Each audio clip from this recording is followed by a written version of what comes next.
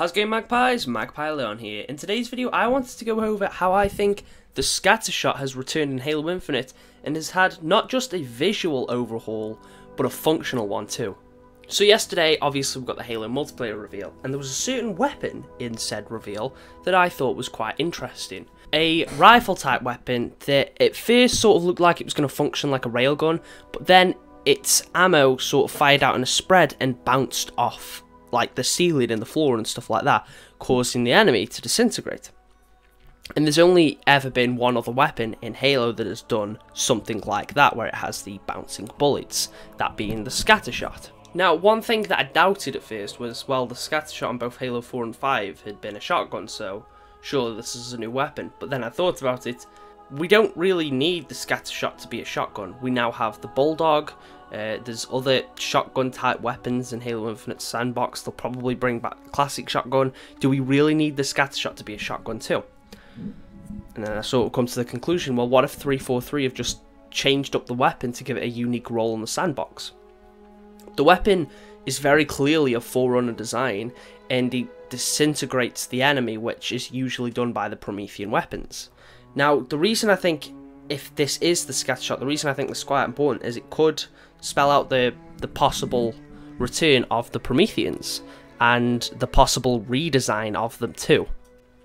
Now this weapon looks vastly different from how the scattershot did in Halo 4 and 5, but it does still share enough similarities for me to believe it's the same gun.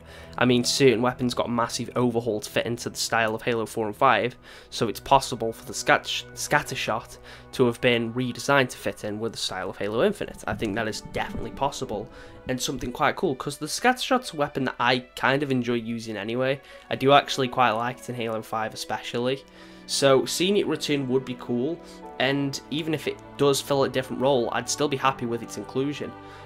The, when the weapon was used in the trailer, it looked really cool, being able to strategically bounce off different surfaces to kill an enemy that was running away off in the distance. That's pretty cool. And I can't see a weapon like this being too broken either, um, but it could mean that the Prometheans potentially return and have a redesign of their own, which I think would be pretty damn awesome. It also gives me hope that other Promethean weapons will obviously return, but have redesigns of their own. I think something like the Suppressor could be a really interesting weapon, especially if the SMG doesn't make it into the game. Maybe the Suppressor could fill that sort of role for it. Or maybe they could do something unique with the light rifle to make that fill its own role in the sandbox, or even the incineration cannon. Maybe have it focus on something else rather than just feeling like another rocket launcher.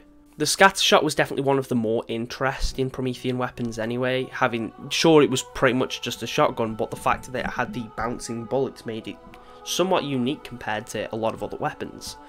But it wasn't unique enough to justify using over the shotgun at times. Sometimes the shotgun was just the better option. I'd usually just use the scatter shot because it looked cool when people got disintegrated, which it's cool that that sort of effect is making Return in Infinite if this is the scatter shot, I think that could like sort of showcase some really big things to come with Infinite. With it being possible that I don't actually think the Flood will be in the base game of Infinite, or at least not play a major role. Maybe the Prometheans will be overhauled and finally become interesting antagonists.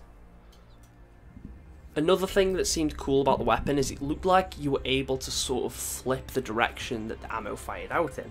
So you could have it spread like sort of um, widthways, but then you can have it spread vertically, which could sort of be functional for different, I guess, play styles. Maybe if someone's right in front of you, you'd want to go for a certain type of shot, whereas if they're off in the distance, maybe you'd want to try a different one to sort of get a more effective, to get a more effective shot on them. Obviously, this is all just speculation. We might get some more revealed about it today, which then would be pretty cool.